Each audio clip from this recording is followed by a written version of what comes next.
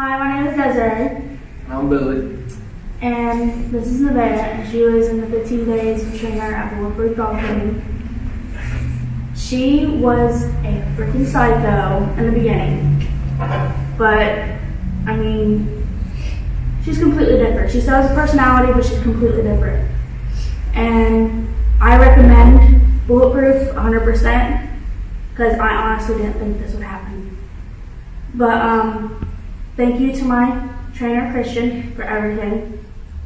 I don't know what I would do because she was crazy. I didn't think it was gonna work. I thought she was gonna be psychotic still.